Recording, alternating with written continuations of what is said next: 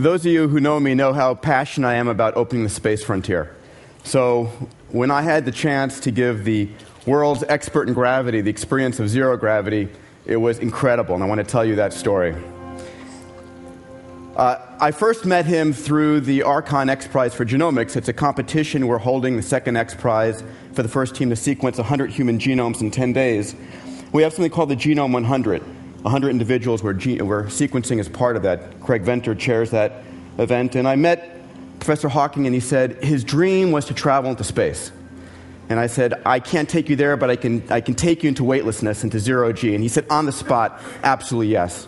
Well, the only way to experience zero G on Earth is actually with parabolic flight, weightless flight. You take an airplane, you fly over the top, you're weightless for 25 seconds, come back down, you weigh twice as much. You do it again and again, you can get eight, ten minutes of weightlessness. How NASA's trained their astronauts for so long.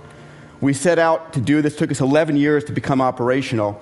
And we announced that we were going to fly Stephen Hawking. We had one government agency and one company, aircraft operator, said, You're crazy. Don't do that. You're going to kill the guy.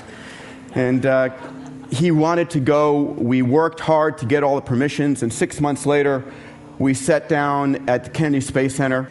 We had a press conference. We announced our intent to do one zero G parabola, give him, tw- give him 25 seconds of zero G. And if it went really well, we might do three parabolas. Well, we asked him why he wanted to go up and do this, and what he said for me was very moving. He said, Life on Earth is at an ever increasing risk for being wiped out by disaster. I think the human race doesn't have a future if it doesn't go into space. I therefore want to encourage public interest in space. We took him out to the Kennedy Space Center, up inside the NASA vehicle, into the back of the uh, zero G airplane. We had about 20 people who made donations. We raised 150,000 in donations for children's charities who flew with us. A few TEDsters here. We set up a whole ER. We had four emergency room doctors and two nurses on board the airplane. We were monitoring the, uh, his PO2 of his blood, his heart rate, his blood pressure. We had everything all set in case of an emergency. God knows you want to hurt this world's renowned expert. We took off from the shuttle landing facility where the, takeoff, where the shuttle takes off and lands. And my partner, Byron Lichtenberg, and I carefully suspended him into zero G. Once he was there, let him go to experience what weightlessness was truly like. And after that first parabola, you know, the doc said, everything is great. He was smiling, and we said, go.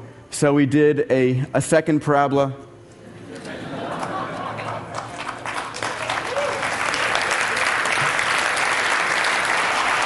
and a third.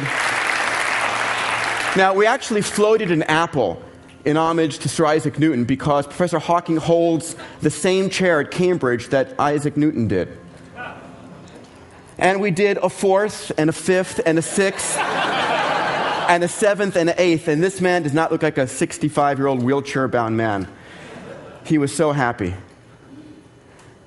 We are living on a precious jewel, and it's during our lifetime that we're moving off this planet. Please join us in this epic adventure. Thank you so much.